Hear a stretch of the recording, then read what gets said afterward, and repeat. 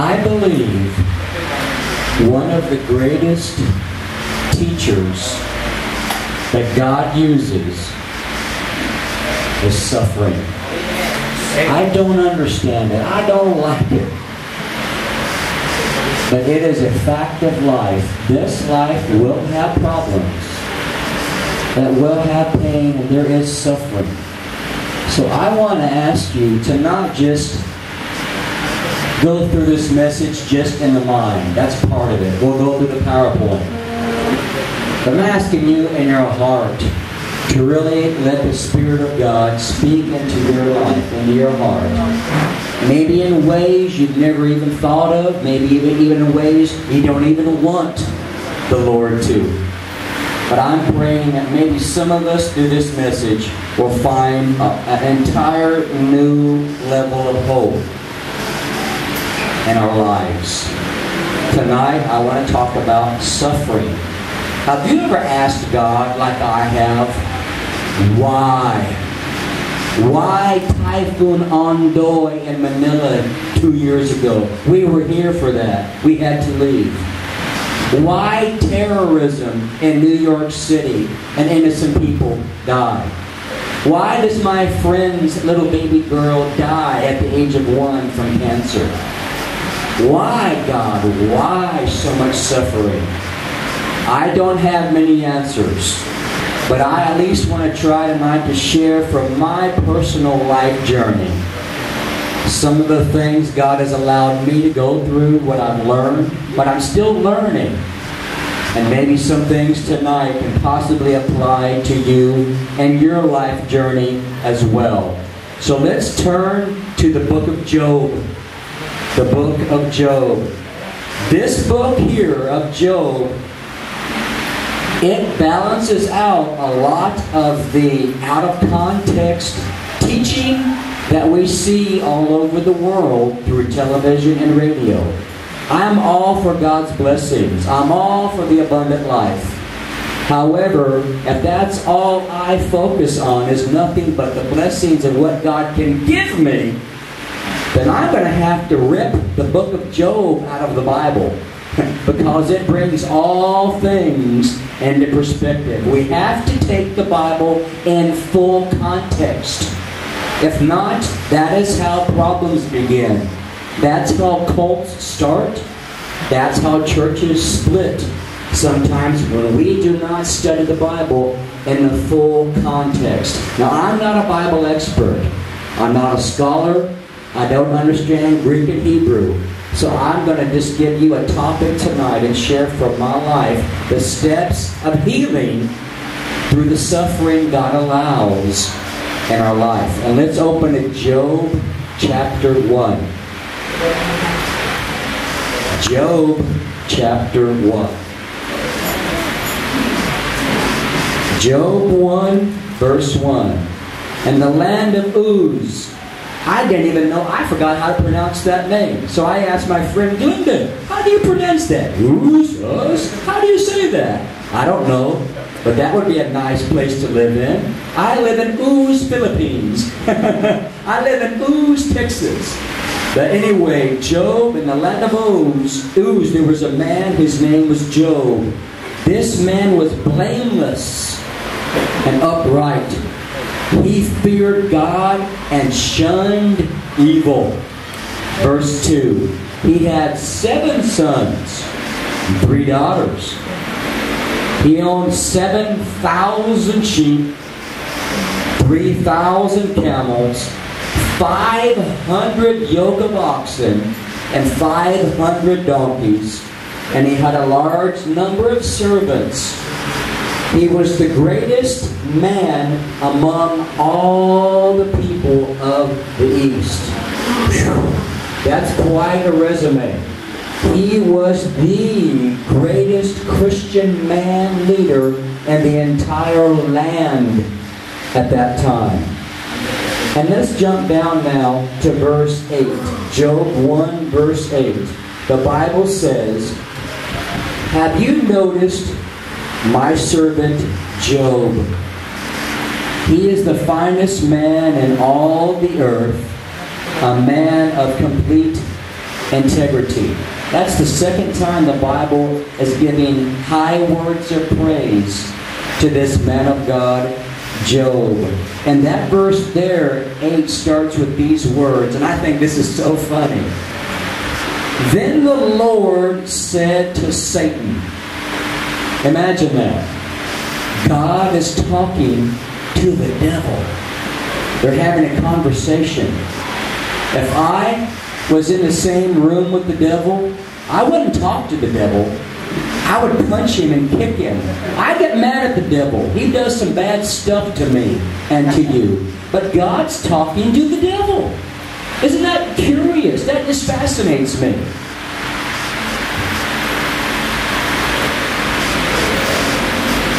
And let's read some more verses. Job 1:14 says, "While he was speaking, a messenger came." Verse 16, what's it say?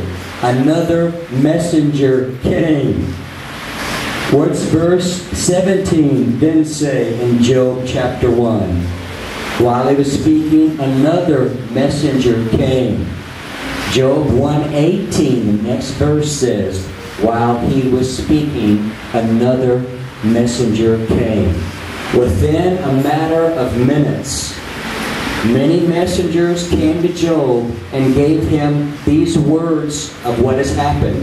Verse 13 through 15 All his animals and farm hands died. Verse 16 The sheep and the shepherd died. Verse 17 camels and servants died. And the worst of all, verse 18 says, Job's seven sons and three daughters all died. They were killed in a tragedy, like a tornado or something. We really don't know. But those of you who are parents, if one of your children died, it would just totally break your heart, wouldn't it? I have no children. But I can just imagine the pain you would feel. Now imagine 10 children all at once lost their lives. What would you do? Job lost all his money, all his resources, all of his material things, all 10 children, all that was left what his, was his wife. Someone once said, Any man of God can lose everything, but he cannot lose his wife. However, Job's wife, even at times, she disappointed him and said some things that were not encouraging. But God let her live to be there with Job during this horrible, horrible time that he went through. Now, this is what really is a mystery to me. Job was innocent. Now, was he sinless? No.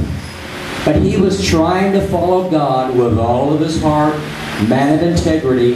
He was standing up for God's kingdom. So all these tragedies happened to him. It wasn't his fault, but God allowed them to happen. I don't know why God allows tragedies to come upon us, but I do know this.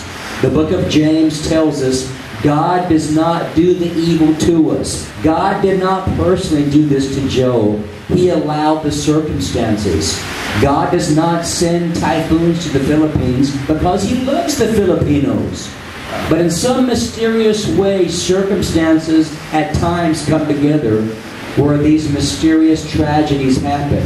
Now, this text of Scripture also lets us know of the power of the devil he was able to inflict Job and hurt Job. The devil was allowed to work through circumstances and destroy all these things in Job's life. Because Job was disobedient?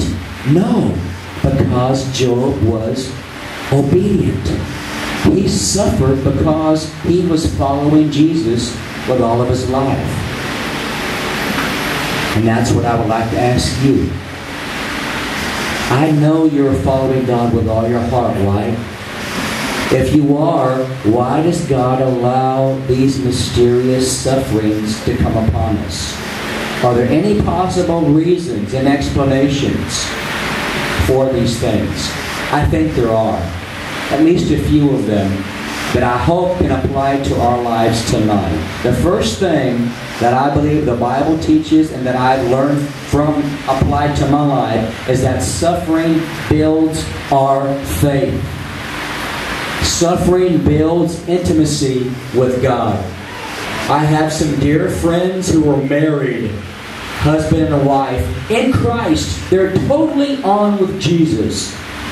But they've gone through horrible, horrible things. And they've told me that during these trials, their relationship as husband and wife, built on Christ, became more and more rich and intimate. The suffering built intimacy in their marriage. It's the same in our relationship with Jesus Christ. If we choose to allow Him to be master and Lord over the suffering we can become closer to Jesus Christ in the midst of these painful times. That's why the Bible says in Hebrews 5 8, although he, Jesus, was a son, he learned. He, Jesus, the Son of God, he learned from the things which he suffered. Did he suffer because Jesus had sinned? Jesus never sinned. He was innocent, yet he suffered, ultimately on a cross. What is God teaching you through your suffering? What lessons is He trying to reveal to us through the pains in life? There is a reason for it. God loves you.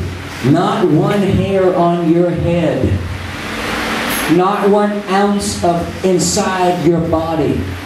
Not one wind, one storm, or one typhoon can touch you in Christ unless God mysteriously allows it. And we always know in Christ if we're fully dedicated to Him. Every single pain has a purpose. So please know that. What is God trying to incorporate? What ingredient is God adding? What area is the Lord purifying in our life with Jesus Christ through our suffering? Number two, suffering also is a tool God will allow to move our life forward. God may shake us to move our life forward. An example from the Bible, Acts chapter 8. The church was very, very comfortable in Jerusalem, and what happened? God allowed persecution and suffering to come. And the Bible teaches us that then the church scattered. And the result? They grew. More people came to know Christ. I can tell you that I am, as a human being, even on subconscious levels, I like to be comfortable. No one really likes change. And because God may say, I want you to go here, and we go there and stay there for months or maybe years or maybe decades, we can become very settled in our place. And God tries to get our attention, but we keep missing God. So what may He do? He may allow some suffering to come and shake us, get our attention, and then He says, I have something different for you now. So sometimes suffering is to get our attention. Is God trying to get your attention tonight? If He is, I guarantee you this it may hurt for now, but God may be trying to wake you up or wake me up to move us out into a whole new level, a whole new chapter of life and ministry. But first, He's got to shake us out of where we're at to get us over here. And sometimes that hurts. Is God shaking you recently? What's He trying to reveal to you through the pain you may be currently going through. Also, the Bible can tell us that suffering breaks us. Let's look at Job chapter 1, verse 20. Job fell to the ground before God. Let's remember the context. Job lost 10 children, his business, his position. He lost everything he had. He was a very, very strong, humble man of God. But these circumstances broke him emotionally and psychologically. Job fell to the ground. A broken man, not knowing what to do except say, God, please help me. He had reached the end of his rope. Have you heard that before? We say that in the States. I'm at the end of my rope, God. There's no more room to go. God, you put me in a corner. I can't run anymore. I fall to the ground, Lord. What are you breaking me for? What are you trying to break in me through the suffering? In my life, I had areas that I had not surrendered to Christ yet that I wasn't even conscious of. I hid them away subconsciously.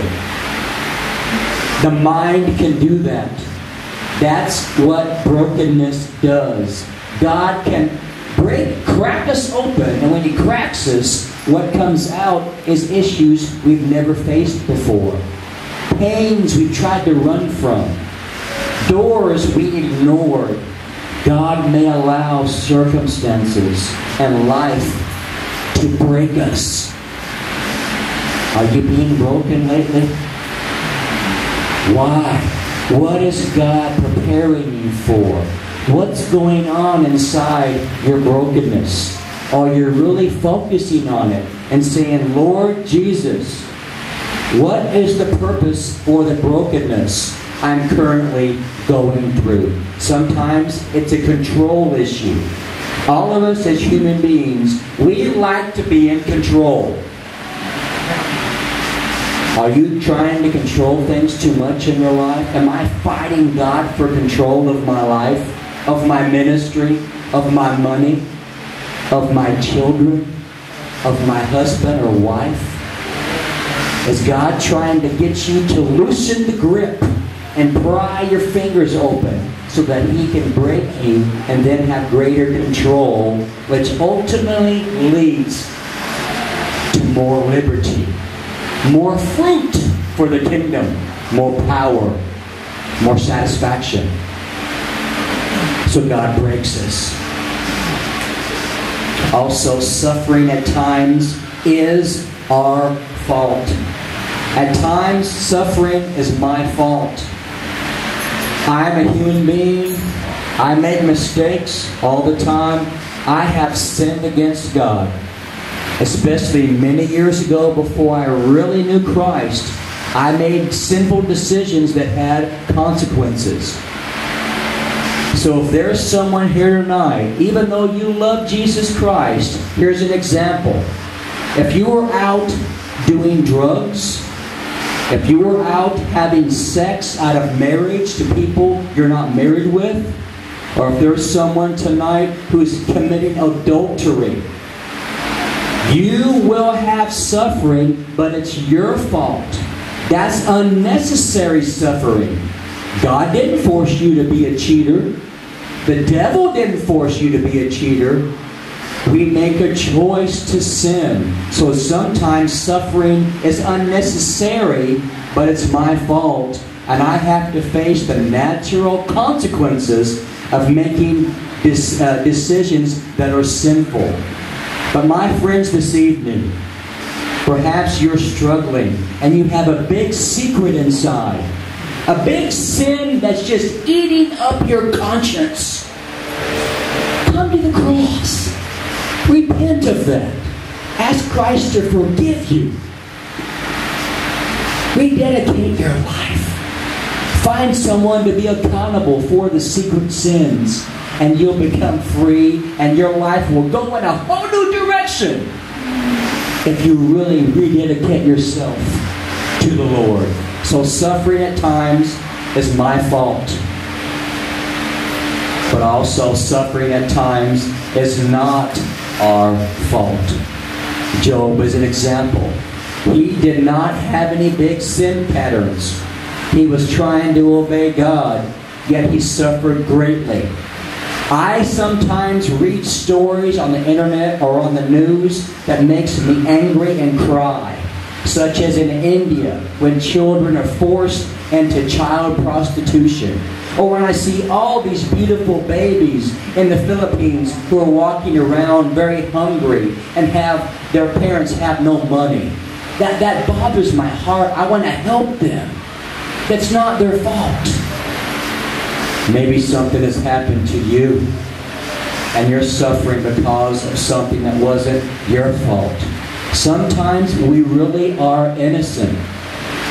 Sometimes innocent people suffer because this world we live in is fallen. It's corrupt. It's broken. When I was a small boy, 11 years old, I was just a young paper boy working to deliver papers to the neighbors' homes. Two men out of my family who were on my paper my paper job, they made friends with me. And I became friends with them. I liked them. But as time went by, they were just being sneaky.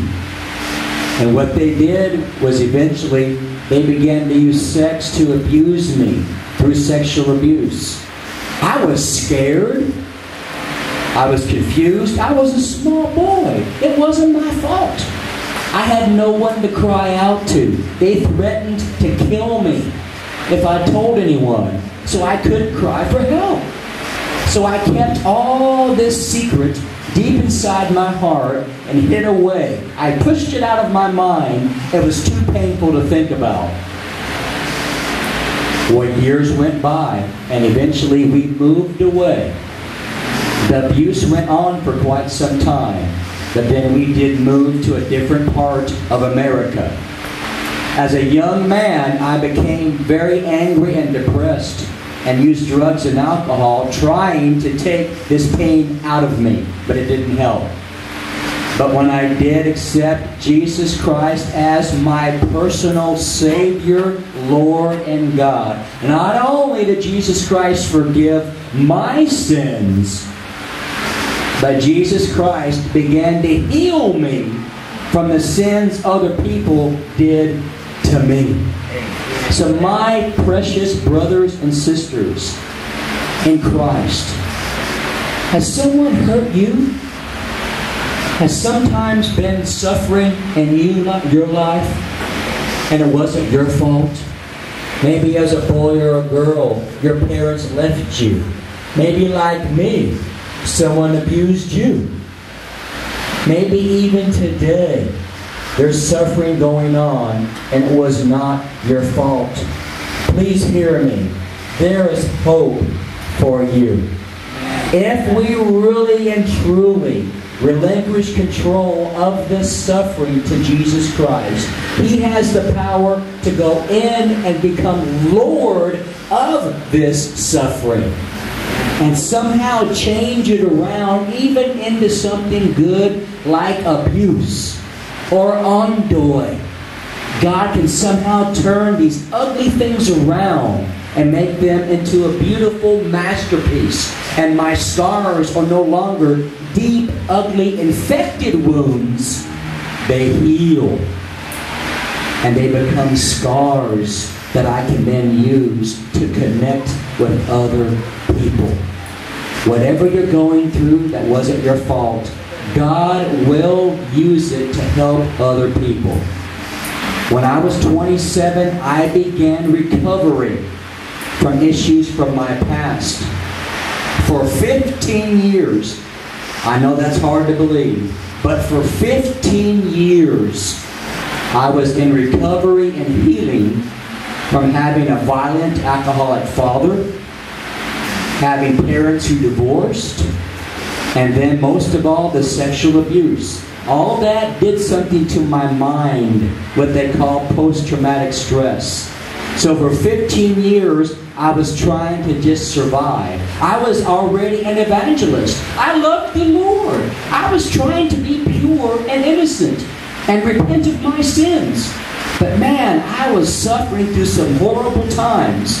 I thought I was going to commit suicide. I said, Lord, I can't do this. I cannot go anymore, Lord. Please, you have to either heal me or take me to heaven. I can't go anymore. But Lord, the God, but God, He was quiet. He's silent. I said, Have you left to me? Do you not love me? And the months turned into years. I tried on faithfully following the Lord, but he was still pretty quiet.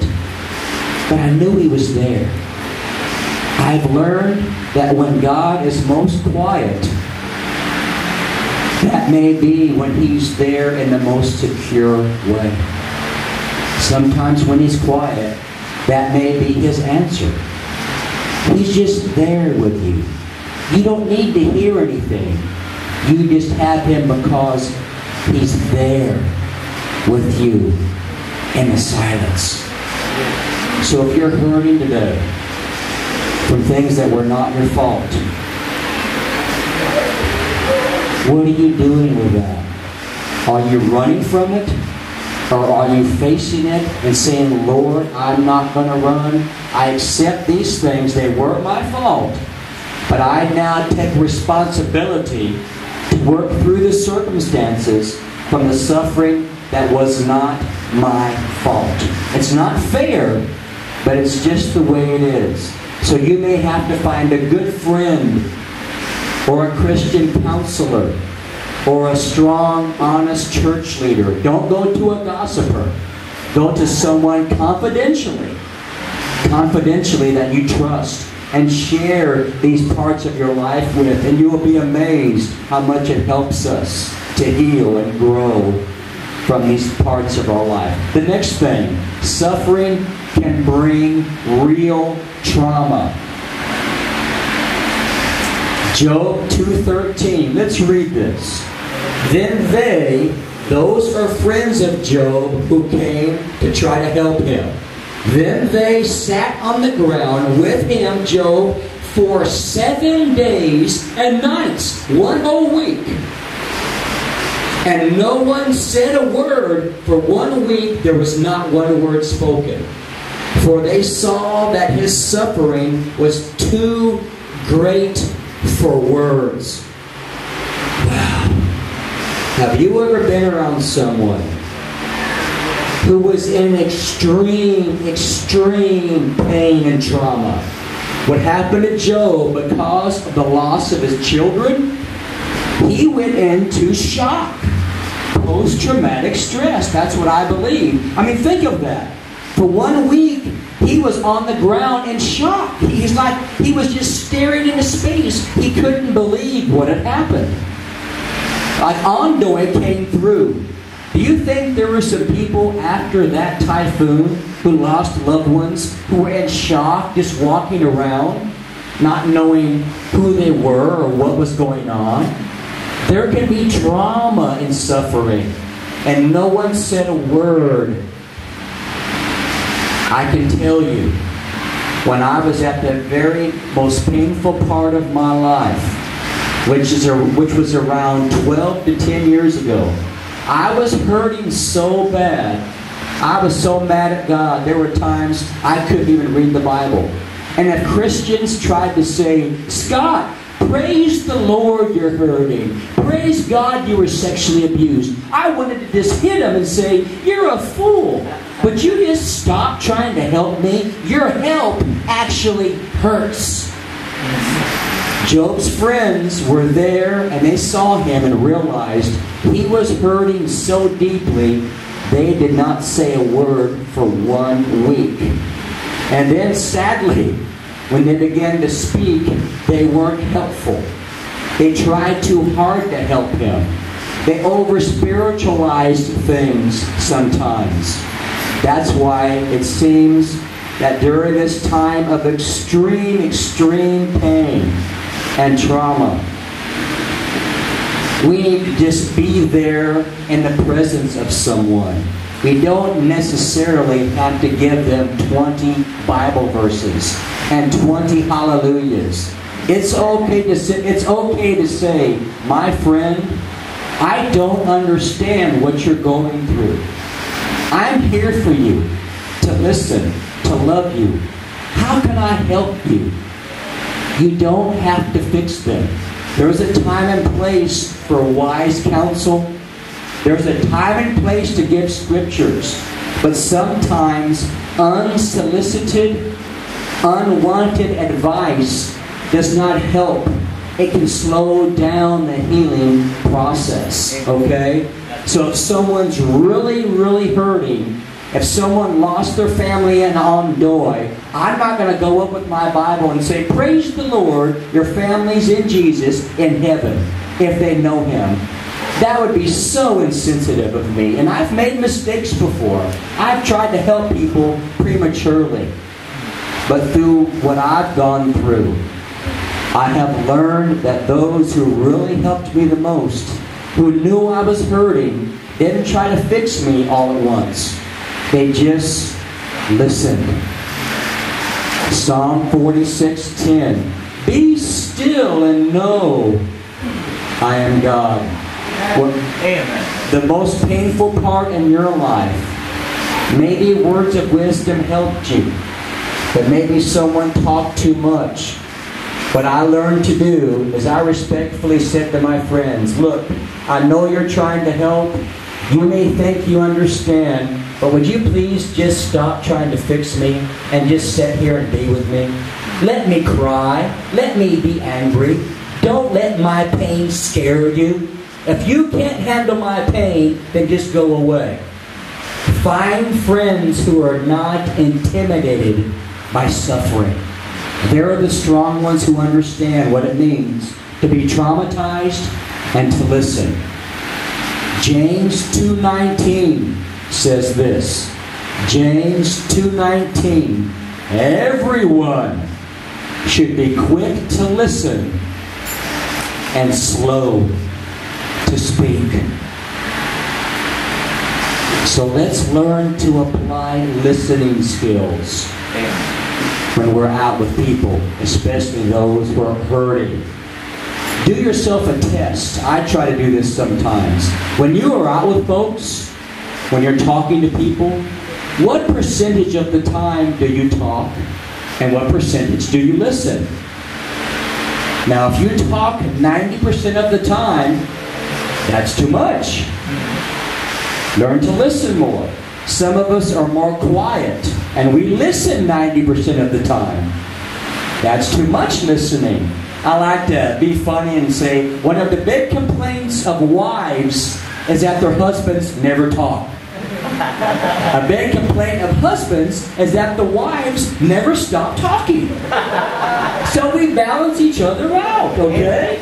Let's talk, but let's listen, let's listen, and let's talk. Go 50 50, okay? Amen.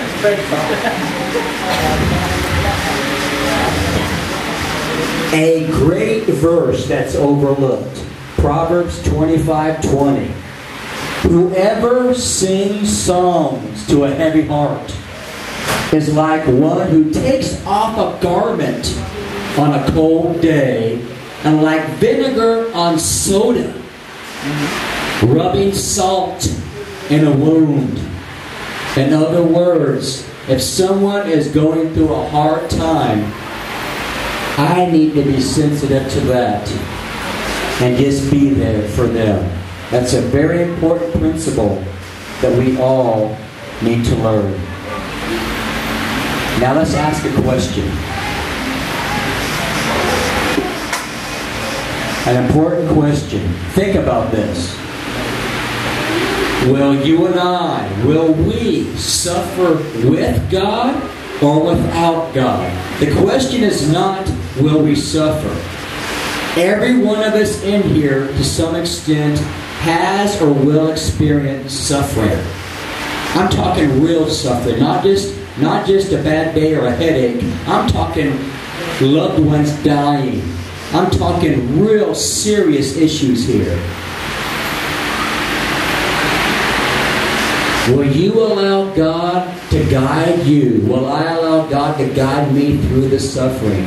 Because as I said, suffering is a tremendous teacher. And going through this with God can help me grow into a person I could never be without suffering. Suffering helps mold us and make us just genuine people. It breaks my heart to see people suffering without Christ because they're hurting and they're not learning from it. There's no advantage. They're just hurting and wasting their time. They're not taking advantage of the suffering. There's no lesson in it. And then they may repeat the same cycle.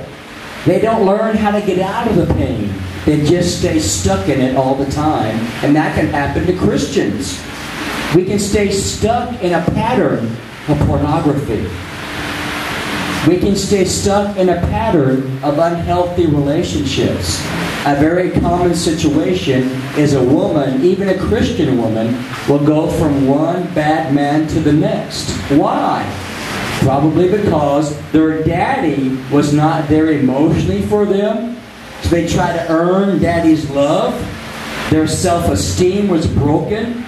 So they drift towards men who are distant, towards bad men, and their whole life they may date and marry and divorce, date, marry, and divorce, date, marry, and divorce. Unhealthy, ungodly men because their mind is stuck in an unhealthy pattern. They never learn to deal with the deeper issues.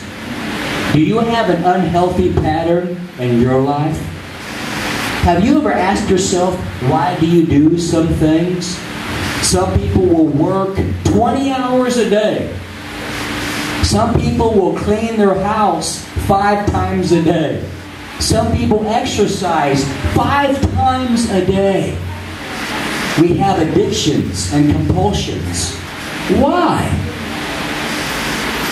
Those are just the symptoms. What is the deeper root of what God's trying to tell us? Without God, you may stay stuck in this pattern your whole life, even as a Christian. But if you allow Christ to come in and open up these suffering parts and clean them out and heal you and make you whole. He will go there with you and guide you through these painful situations we may be going through. Philippians 3:10, a great verse. I want to know Christ and the fellowship of sharing in his sufferings.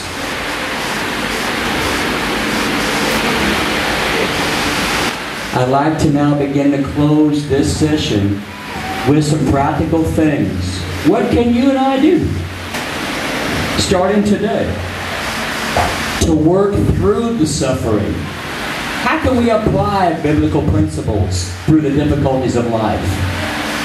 You may want to write these down. Here are some practical tips I've learned that I'm still learning. Number one, It is okay to hurt.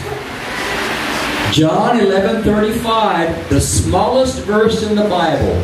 Jesus wept.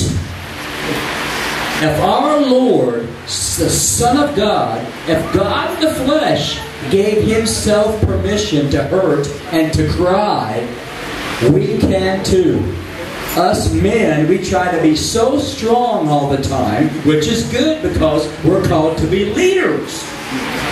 But at times, even a soldier needs to sit down and rest. Even a soldier needs help. Even the greatest Christian leaders in history shed some tears. It is okay to hurt. Give yourself permission to feel the pain in your life. Number two, be real. Let's be realistic. Jesus said in Matthew 26, verse 39, My Father, if it's possible, let this cup pass from me. Yet not as I will, but your will be done. He was realistic. He realized God may take this circumstance away, but He didn't. God allowed the suffering to come. He was realistic. He faced the cross. Our human nature doesn't want to go to the cross. We want to go around and avoid the crosses of life. But be realistic. If you were abused like me, reality tells us you probably won't heal in just one week. Now, God may deliver you. He may heal you like that. I wish He had done that for me. I cried thousands of times, God, why won't you just deliver me? But instead, he took 15 years. And I learned a whole lot more over 15 years of healing than in one second of instant delivery. But he may deliver you like that. But be realistic. If there's serious pain and trauma, the facts tell us it will take time to slowly work through these issues. Number three. I'm sorry, number, uh, number three, be, real, be realistic. Number four. Number four. Settle into the into the silence. Fighting it may extend suffering, like going to a dentist. When I was a boy, I was playing uh, like soccer, kickball, and I went to kick the ball and I missed it, and my leg went up, hit me in the mouth, and broke off my tooth.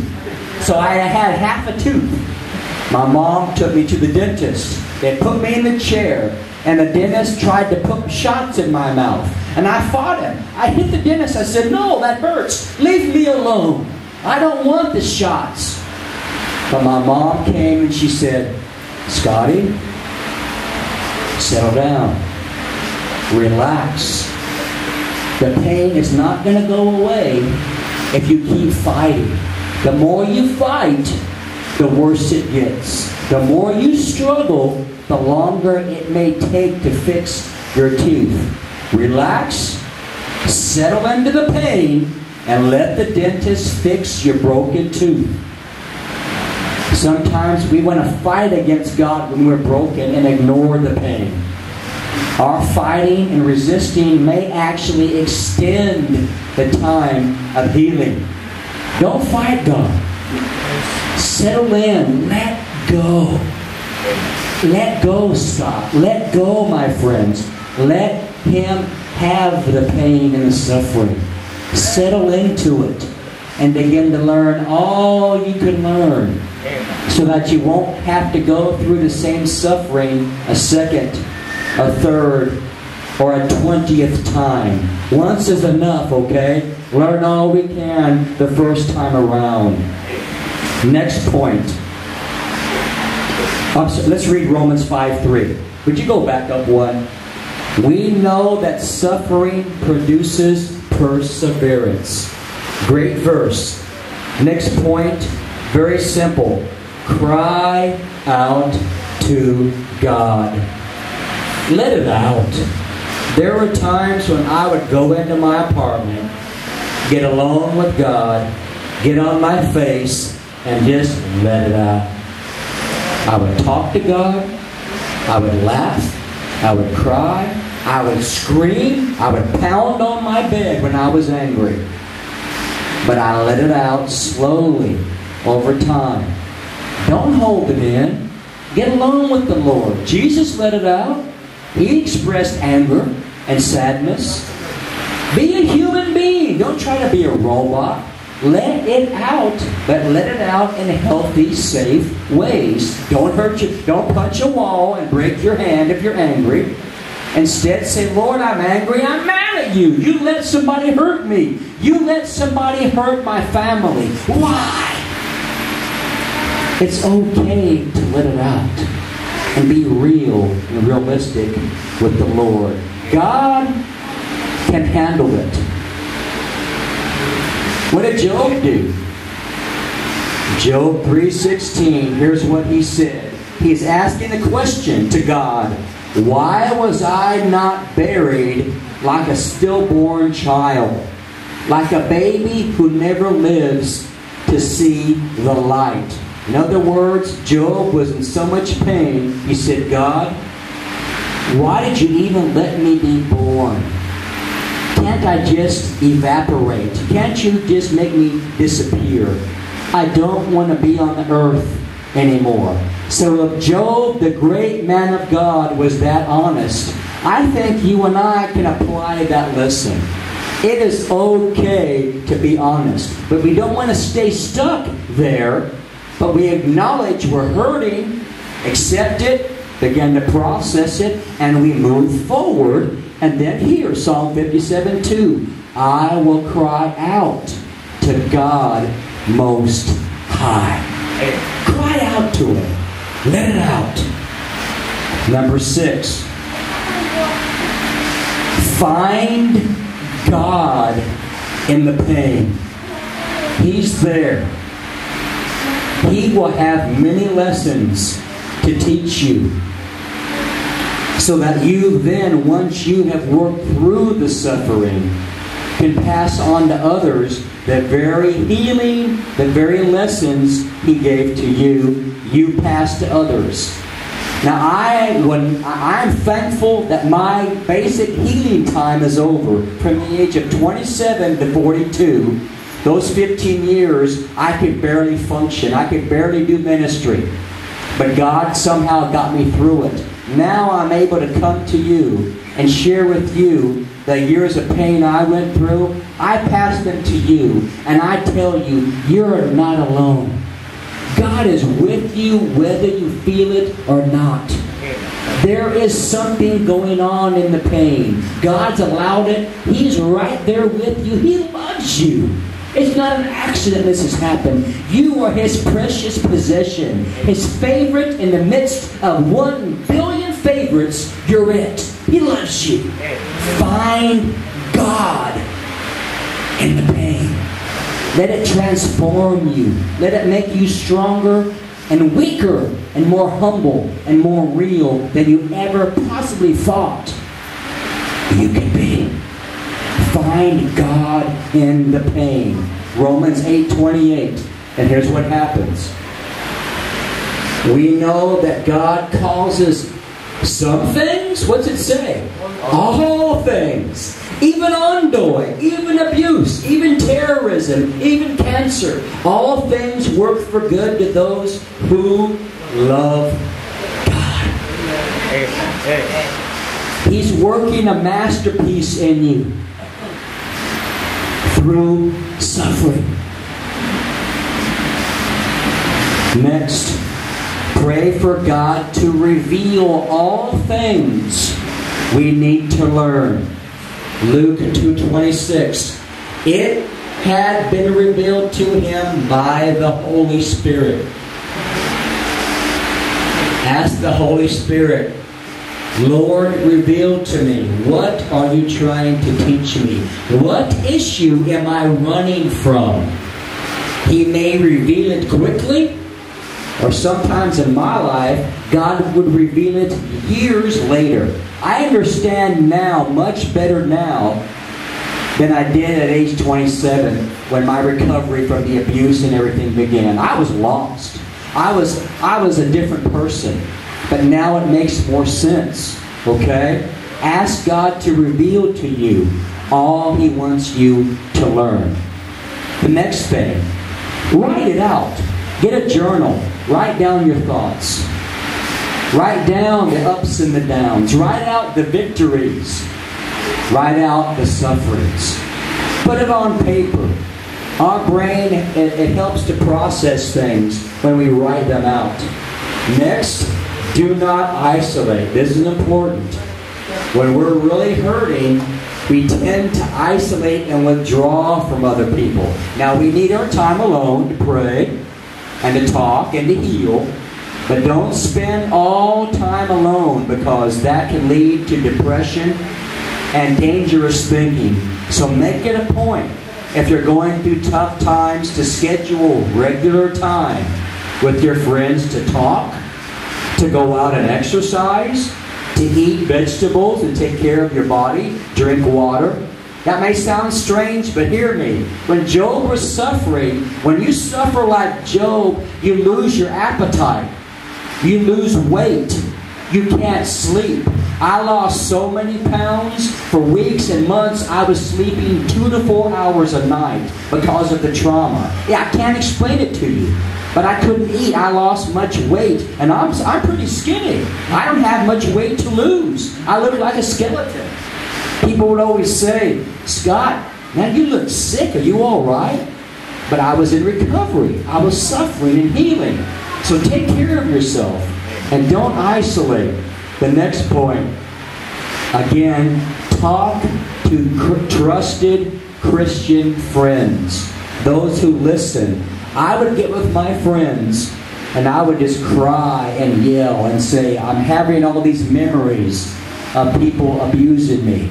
I remember when my dad left us, how angry I was. I remember those men, threatening me with a knife, and I wanted to kill them, but I was afraid if I fought them, I would die. I was laying, letting these things out to my friends, and they were just there for me. Find trusted, confidential friends to talk to about the deepest things in your life.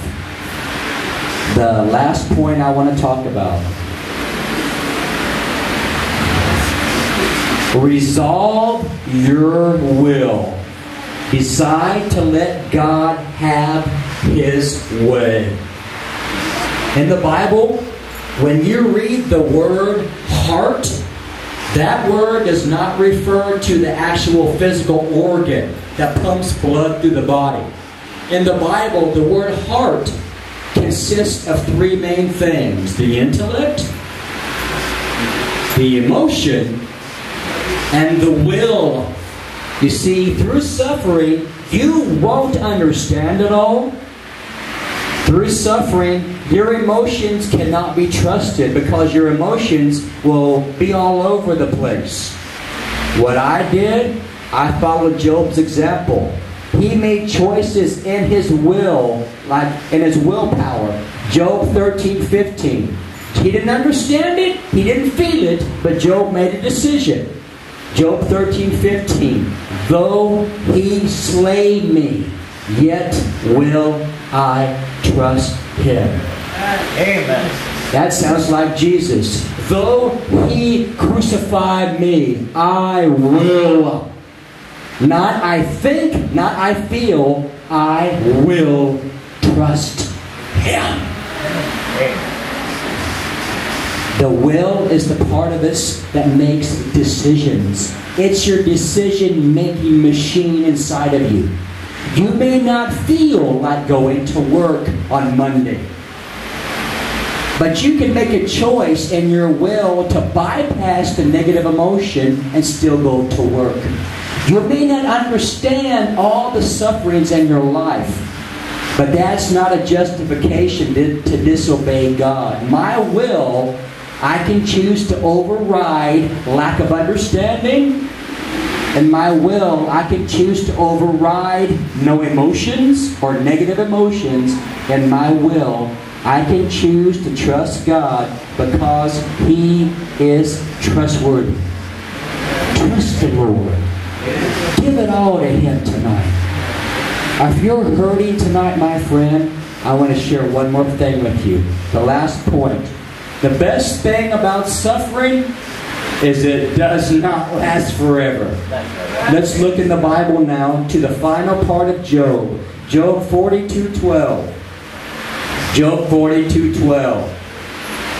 God restored Job's life. And look at this great verse. The Lord blessed Job in the second half of his life even more than in the beginning. He had more children.